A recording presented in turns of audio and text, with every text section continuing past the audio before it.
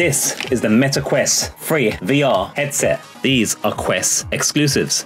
This is the Sony PlayStation VR 2, and this is a Quest exclusive game being played with a PlayStation VR 2.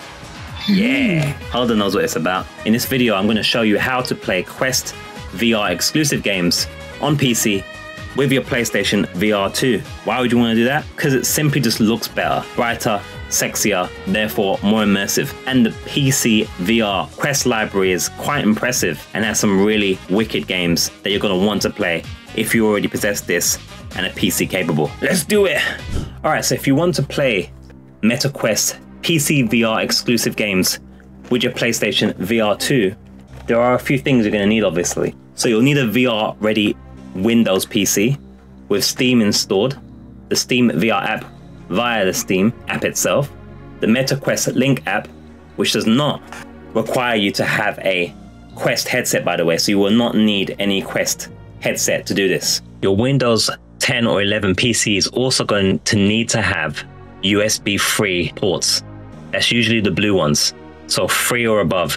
And hubs aren't a guarantee and likely won't work. So if you're thinking hubs will do it, assume it won't. If you do go with that, you'll be testing and hoping. What you want is direct blue ports. Sometimes the front ports as well can work on the, the case on your PC itself, direct to the motherboard, not a hub. You will also need a Meta account, whether that be created through your Facebook account or brand new, you will need an account that, yes, Meta, aka Facebook, will hold.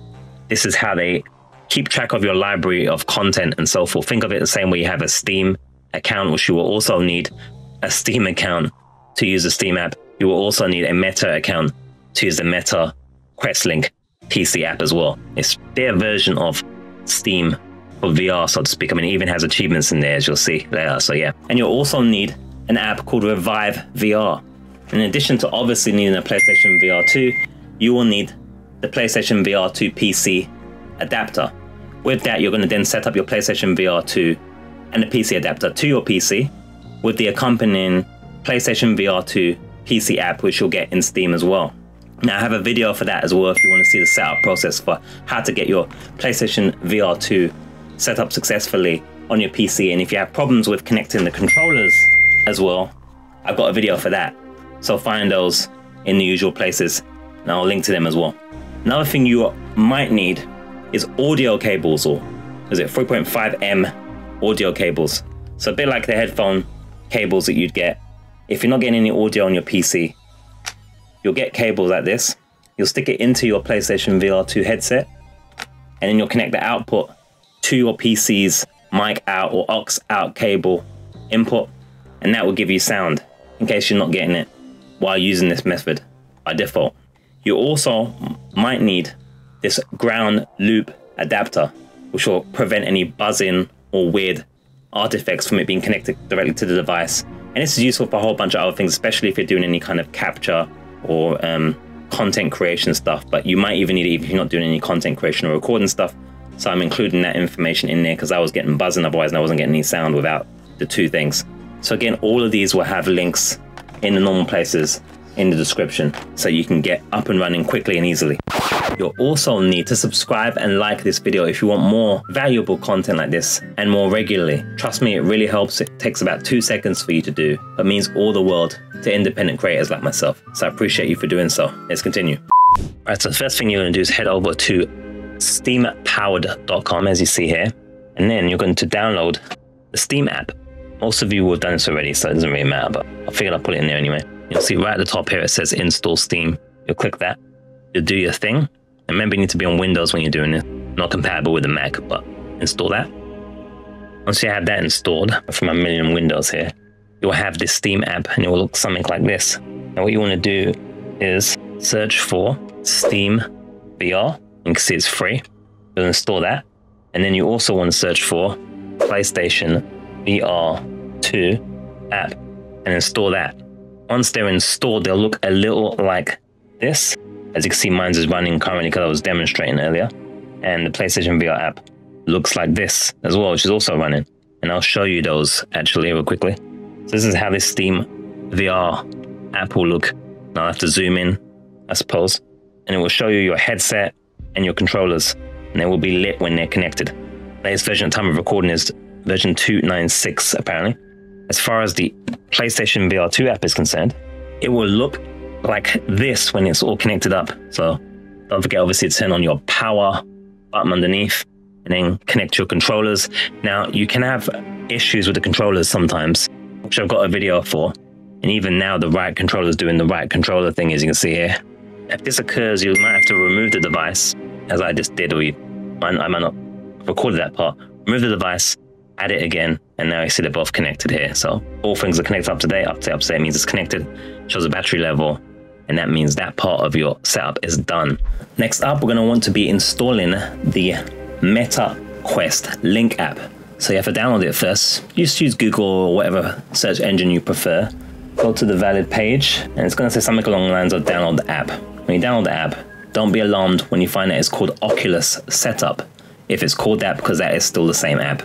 It's just still legacy named, I guess, based on the Oculus tech of the original Oculus headset as opposed to the new name of Quest. But ain't no bones about it. This is the Meta Quest Link app. As it says there, you're to need 4 gigabytes of space on your computer, so make sure you have that as well. I don't remember if you get to select where it installs, so you're probably to need that space on your C drive, but I think you can select where it's at and where it goes to. Once it's installed, it's to look a little bit like this when you open it, and this is how the icon looks right there as you see MetaQuest Link. If we expand it here, we see there's a whole bunch of stuff that I've already got installed. But the main thing is to get it installed, and once you do, it will look like this. And you're going to also need to log in with your Meta Quest account. So if we go into the store here, you can see these are going to be the things that are valid for you to buy.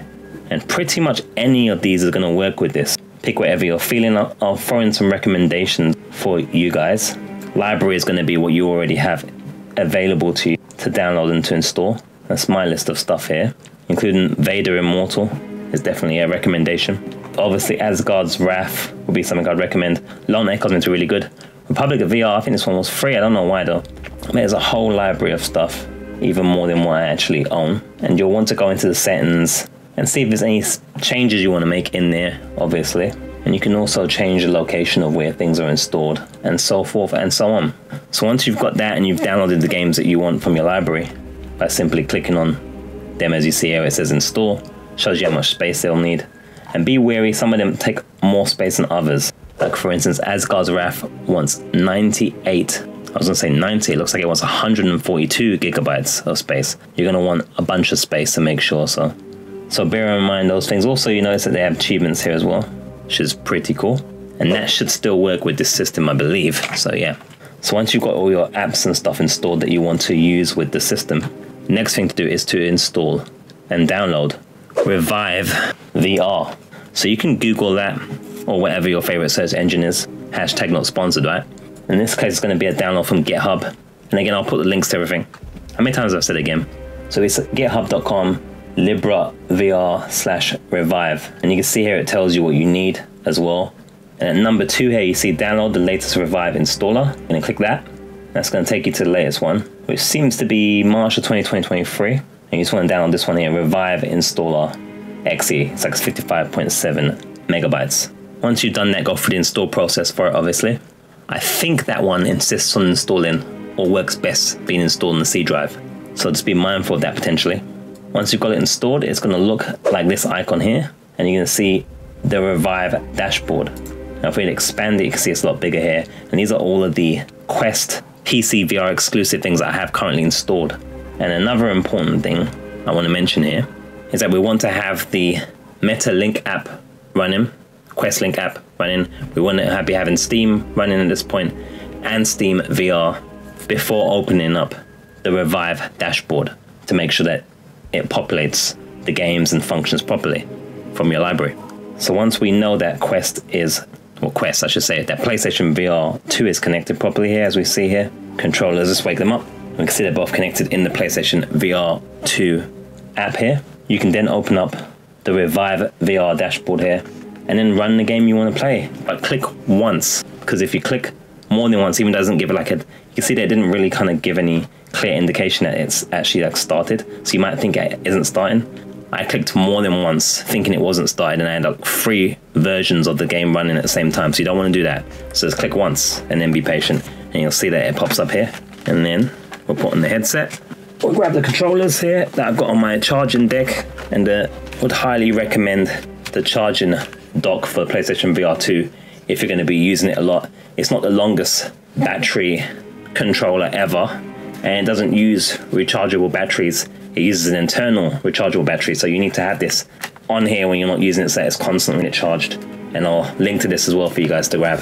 And as you can see, you are now playing Asgard's Wrath 1 on the PC, the Meta Quest exclusive with the PlayStation VR 2's brighter, more colorful lens and lower compression since it's a wired device and not a wireless hybrid and it works perfect, as you can see. And I tell you, it looks so much more colorful as well, so much more brighter. It's funny compared to the Quest, playing it with the Quest, it almost reminds me of almost like playing PlayStation VR 1, where it has this kind of snuff movie, snuff movie quality. But this, this is, uh, this looks beautiful. You know, it works great, as you can see. I'll see if I can get hold of here to do a high five. She might not want to though. Fist bump.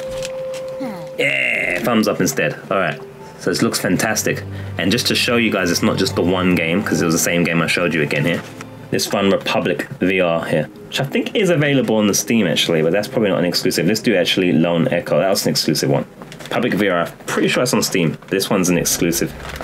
I believe Lone Echo is an exclusive for Quest, so that'd be a better test. I ain't gonna run anything more than the menu because I never played this one, but I just want to show you guys that it's fully working here by Ready at Dawn. Which I think unfortunately Ready at Dawn got closed down, didn't they? Was it by Sony or something? You can see here it's all there, you know, clearly working. And finally it's become Vader. Or at least Vader in a menu. Now I've never actually run or tested this one before, so I'm just, you know, assuming it's gonna work because everything else has worked. So this is like a live test at the same time of a tutorial here. And here we go. It's it's it's perfect. Look at it. Ah, so these the triggers are your fingers. Quite what grabbing grabbing does on its own. All right, may the force be with you guys. I actually that's wrong, isn't it? Vader's not into the force, is he? At least not the light side of the force. Now you've got your PlayStation VR 2 primed and ready to play Quest PC VR exclusives, and you subscribed and liked the video as a thank you already. Check out the video on the screen. It's going to show you even more cool VR related just VR gamingness. Is it on this side? And say hi to your mum for me, yeah?